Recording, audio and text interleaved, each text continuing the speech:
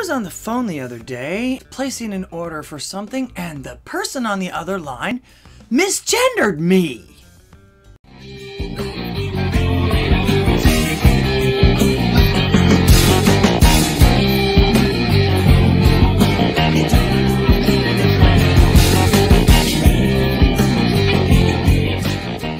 Greetings and welcome back to Here's What I Heard.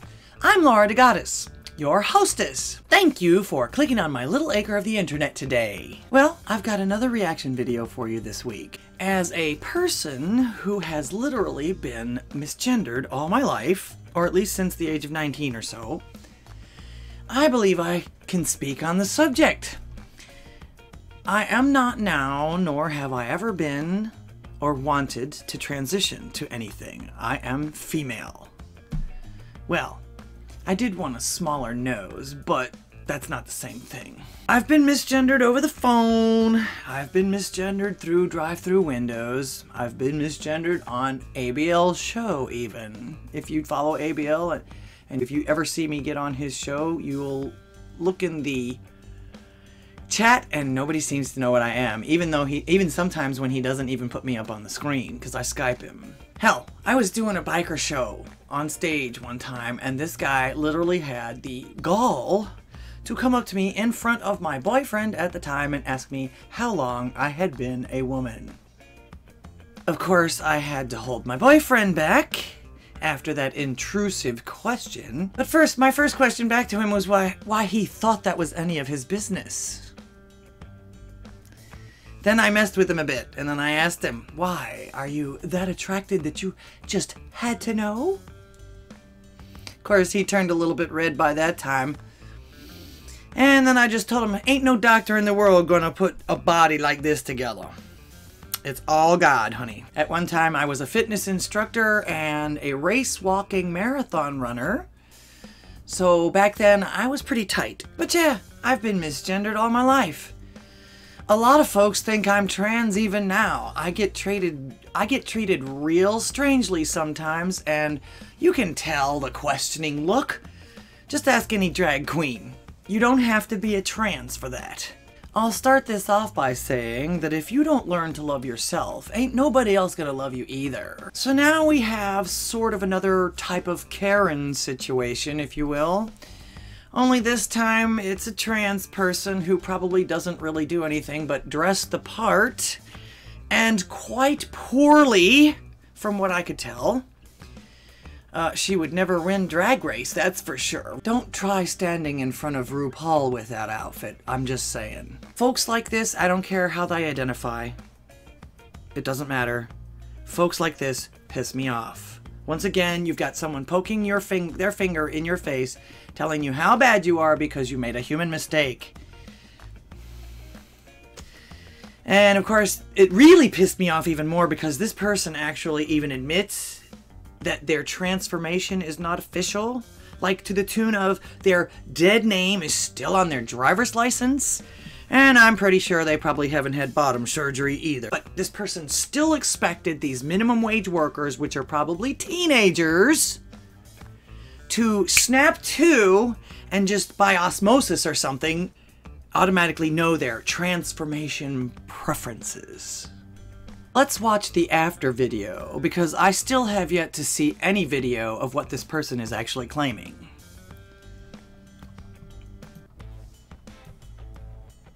Why do you want to record me? Because your Okay. entire staff has been Okay. calling me sir. Okay. Okay, so why record him? Why not record the staff doing this? You would be way more credible. Uh, okay. Uh, you want to park? Uh, why don't you tell me what we can do now? No, because I I can do this. You're the one with the problem. Why are you looking at him for advice on this? Why are you asking him to do this? He really doesn't know what you want. Can you tell by his look on his face? Look at this guy's face. He's like, What do you want from me right now? And the fact that you won't tell him makes it even more frustrating. Know what you want. Same thing with you. Okay, Okay, but your entire staff has been calling me sir. The Prove it. Prove it. entire time. Okay. What about me looks like a sir right now? I don't know. Again, he's making this poor guy guess. Why would you do that? If you're that confident in what you are, tell him what you are and move on. Look, I'm sorry, and I apologize for what happened. Okay, if they did that, or oh, I mean, do you, I mean, I'm sorry. What else can I tell you? I mean, ma'am. Exactly. What else do you want from this man? You got an apology. He's being sincere. He doesn't know what else you want from him. He probably doesn't have any idea what what the hell you even are trying to be. A lot of people don't know anything about this.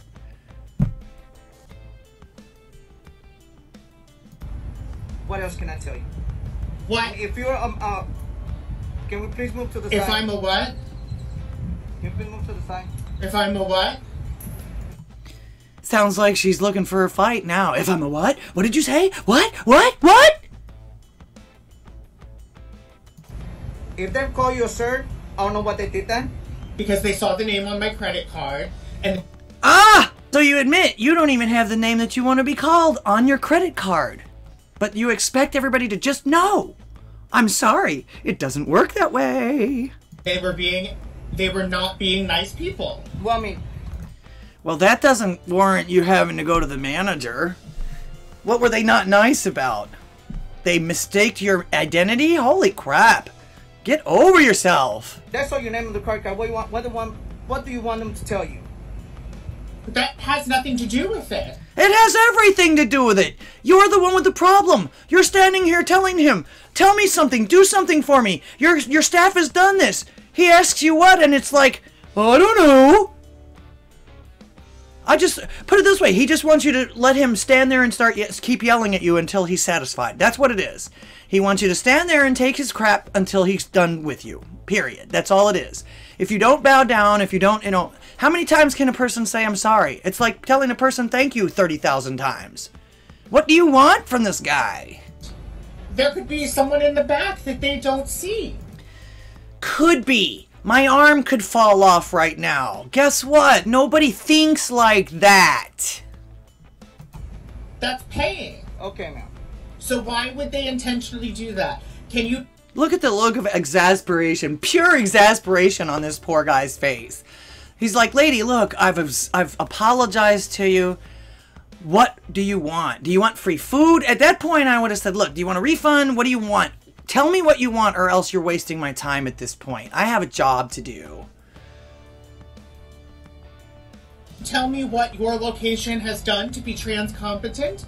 Why should he be accountable to you for that? And what is trans competent? What is trans competent? He again, another thing he probably has absolutely no idea what you're talking about because you just made that up. Look, okay? Like I tell you, we don't dis- discriminate anybody in here. Okay? I'm so sorry if you feel discriminated. No, no, no. It's not that I feel, it's that I was. No, you weren't. Did they deny you of your uh, dinner? Did they deny you anything because of what you are? They made a simple misgender mistake. They didn't discriminate against you. Discrimination would have been if they'd have told you to get the hell out of their store because they don't serve people like you. That's discrimination. Discriminated against. I would like you to promise me that you will stop treating trans people this way. What? Again, why does he have to be accountable to you? Are you going to go back and check and make sure this promise is being honored? Give me a break. Promise me. Okay, he promises you. And then what? You going to sit there and verify it for the rest of your life? How I'm training you. I'm training you back? And I am I'm doing Your it? staff. Your name and the credit card. Yeah, again, prove it. He's being as absolutely nice as he can be, and basically all you want to do is stand there and yell at him. That's all you want. You want to be able to sit there and let him listen to you. What a coward. What a coward. Your staff did this, so you're going to stand there and take my punishment and promise me this and promise me that. Once again, who the fuck do you think you are? Card. It's a feminine name? No. Exactly. They're not, Ding, ding, ding, ding, ding. not discriminating. Yes. Yes, No, they're not. are. Because it, someone else could be paying. What difference does that make? My sexuality, whatever it is, and I feel confident or who I who I am, I'm not what I am. talking about sexuality. Yeah, see, that's what I mean. Anytime you say anything back to them, I'm not talking about this. You don't know what I'm talking about. You don't know what I'm talking about. Just shut up and listen to me. Just You don't even know what we're talking about. So how can you tell me I don't know what I'm talking about? Because you don't. We're talking about gender identity. And who You're cares? talking about sexuality. Okay, to me. You're at Sonic. You should be talking about burgers and fries. Okay. Okay? So, what are you? So I can call you a sir or ma'am. What are you? What would you assume looking at me? Don't make me guess. He just asked you a question. Don't make him guess. Why would you make him guess? You want this stuff so bad, but you're not going to tell him what you want? Oh, you people don't make any friggin' sense to me at all. What are you? What would you assume looking at me? Stop making people guess. This is the problem. Had you not made people guess, you wouldn't be in this case in the first place. You wouldn't be in this predicament. You wouldn't be going through all of this crap in the first place had you not made people try to guess what you are and then wait for them to be wrong. I assume that you're a man. Okay. Yeah, me too. A man dressed as a woman, and again, not very well. Shame on you for trying to be me. Okay. Passability equals my safety. No, passability equals people actually gendering you the way that you want to be gendered. Nobody hit you. Nobody did anything bad to you. Nobody, you know, you don't have any black eyes. Nobody shot you. Nobody assaulted you. They misgendered you because you don't even, you're not even official yet. Get over yourself. Now, was all of this really, really necessary? Now, don't get me wrong. I have the utmost respect for everyone and anyone, especially that finds and displays their full freak. Really, I do. I've been there. I'm. I know myself. I know my limitations. It's it's it's very uh, freeing when you find yourself and you know exactly how you want to be and what you want in life. Period. That's all I can tell you about that. It's all based on each individual's experience. But However, I should not have to be responsible for everyone else's personal feelings or even their well being about it. That's up to you. And don't you dare try to make me pay for it by some big government mandate or something. I got my own problems, and I'm not responsible for yours. How would you like it if I made you responsible for my problems? You think you're the only person on earth that's been discriminated against or treated badly? I think not. To mention the fact you need to learn that when you put yourself out there, there are going to be some people that will not accept you. If you accept yourself and you're that confident with yourself, that won't matter. Trust me. It won't. Do your thing, but be real about it. Don't try to live in a fantasy land that everybody on the planet has to accept you. Even if you were just plain Jane or not doing anything, nobody on the planet is required to accept you. Get over yourself. It was almost like you wanted this guy to like kneel down to you. He said he was sorry three times. What else do you want? I truly, truly hope for your happiness. I hope for everybody's happiness. It's a choice, though. But truly, you cannot do anything about what people think of you. You can't. You just can't do it. When you try, you get crapola like this. Only you can do that. So, if you are that insecure about yourself, to the point of where strangers who probably don't have any clue nor care what you're going through make you this nuts, you need help.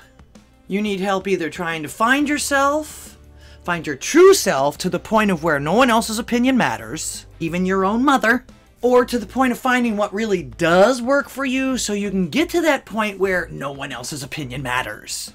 Or slip ups, or anything like that. Now, here's a couple of ways to stop this utter nonsense. Aside from the fact that these folks' deal is not anyone else's business, and perhaps calling that out, not to mention that no one really cares, as long as you ain't in their face demanding that they repeat after you. start being ready to call their bluffs. Most of the time, they catch people by surprise because there actually is so few of them out there in the population compared to the population. But yeah, you can yell back. Well, I'm cisgender, or whatever you want to be. And you're making me feel uncomfortable by not respecting my being and how I feel and what you are doing to me now, harassing me for some slight you can't even prove. You're invading my safe space by not calling me by my preferred nouns. Or, you better promise me that you'll treat cis and people different than you better, or I'm going to keep yelling at you too. It does nothing, but then again, the promise that this idiot wanted to, the manager to make would do absolutely nothing either. And was this person planning on coming back, literally, to make sure that the promise was enforced? I have a new, old name for these bullies. They're called assholes. And assholes only understand one thing. Obviously, or they wouldn't be constantly spewing their mantras constantly, constantly, constantly like they do to themselves. Not to mention, and I haven't heard anybody say anything about this, but they are so worried about this all the time. This white woman, if you will, who at this point can be considered a Karen, was being racist against this Hispanic manager. So there! How does that feel? You're a bigot now, too. Now, go get some counseling and leave these poor folks alone. If you really were that serious about this shit, you wouldn't be harassing blue collar kids at their first jobs. You absolute coward! You'd be yelling at and picketing your leaders and your advocates. I do know that folks like you have quite a few people in power at this time now. Seems you'd be bothering them for more acceptance, not lecturing and threatening some dude who just wants to finish his shift and get the hell home from his minimum wage hellhole. What progress are you making? None. Oh, and by the way, does someone in that realm want to answer me this? Please explain this to me. If women these days have it so bad, in this systemically racist and misogynist and sexist world. Why do you want to be one so badly? Because as a biowom, I gotta tell ya, the systemic stuff is cake compared to the biological sludge that us women go through in our entire lifetimes. And believe me, no man or make-believe woman or even woman really wants to go through that mess. So yeah, get over yourself. Just because you've decided to be what you are doesn't obligate anyone else's concern, approval, or even respect. And acting like vinegar to folks about it will never produce the results you're demanding. You can't expect others to speculate while you wait for them to be wrong. I do hope you enjoyed my video today. I got a little out of hand, I'm sorry, not really. These people do actually piss me off, and this is the kind of logic that is ruining our country. So, if you like my work, please make sure you give us a like, a subscribe, comment on this. I'm sure you people have opinions, and that's what you'll be doing on my call-in talk show come December the 2nd. I start going live, don't forget about that, December the 2nd, 7 p.m. Central Time. That'll be 8 p.m. Eastern Time and 5 p.m. Avocado Time. So make sure you stay tuned. I'm still going to have a weekly video on every Saturday, but we're going to do some live shows and hopefully I can get you to tell me what you heard. Thank you for clicking on my little acre of the internet today. Until next time.